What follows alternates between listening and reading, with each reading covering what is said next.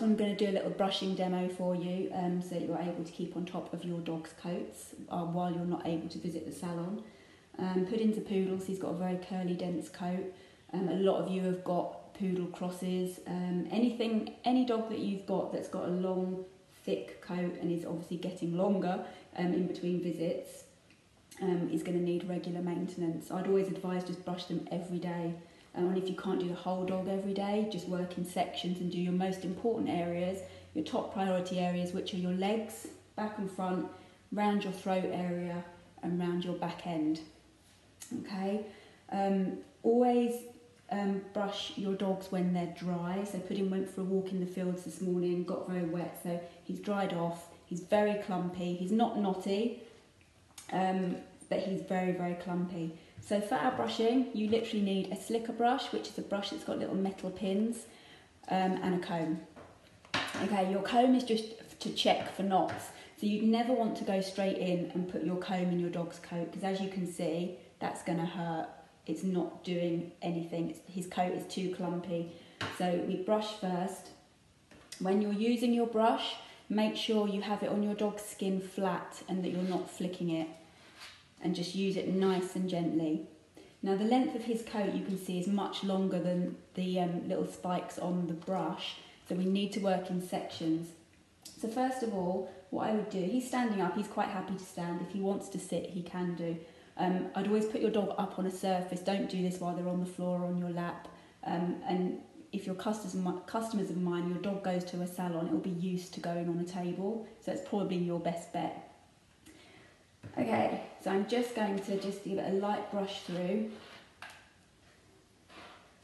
just to loosen it up a little bit. And then I'm going to come in at the bottom, good boy, and just work in sections. So as I'm doing that, I'm working down to the skin, and then I release another bit of hair down to the skin. Doesn't matter which direction, you can brush in all different directions. Good boy. Coming underneath as well. Come this way, Pudding. Pudding. Good boy. Okay, so as I've just done that little section, I'm now going to put my comb in at the root. And you can see I can get my comb all the way through there. So you can come up into your armpit. Your armpit is a friction area, so that can become knotty. So while they're not able to come in to the groomers, make sure that you give that a good brush through. Okay? Come this way, Poppet. Good boy. And I do the same with your back leg. Just loosen it all up first. Doesn't matter which direction you brush the coat in. I hold on to the hair so that you're not dragging on his skin. Good boy. Okay, and then you can gently lift the leg up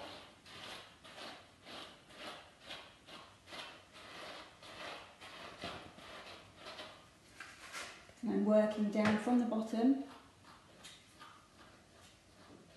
And again, you can see that I can see skin there. And I'm going to bring my hand up a little bit, release a bit more hair. And then bring that down. And then you can see I can get my comb through there. Okay, and then just keep working up, bringing another section of coat down.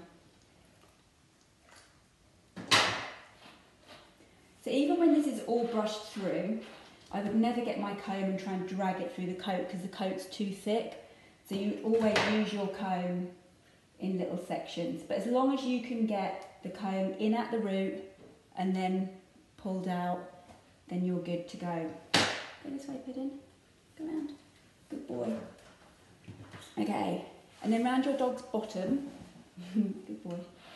Just hold on to the base of the tail just gently and then you can come in underneath the bottom and then get the insides of your legs.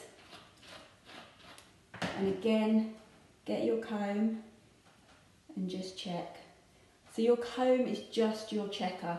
Pudding's got a shaved tail but if he had hair on his tail again just very gently brush the hair through there. Good boy. Come on this way. And you go. Good boy. Okay, then for the front, for the front of your dog, just hold on to their muzzle, just very gently, lift their neck. Be careful not to lift the neck up too high because that could be uncomfortable. And again, just brush underneath there. Okay, he's very short underneath here. A lot of you have got much hairier dogs um, and you'll have to just go through light with the legs in sections. Can you see? So I'm holding on and just bringing each little section of hair down. And again, you can get your comb in there. Okay, so this is an area around here that often gets neglected to be brushed. So just bring your ear forward. It's a bit hard to see in this light with a black dog, I'm afraid. But, okay, and again, comb through there. Do you want to see it put in? Good boy. Okay, and then for his top knot, he's got a big top knot going on here. But again, just sections of hair. What you don't want to do with all this is just brush lightly over the top um, because obviously if you then part the hair, you haven't brushed anything down at the root. So you can brush over the top just to loosen it up, but then you need to go through in sections. And each time as you get your section, go through with your comb, okay?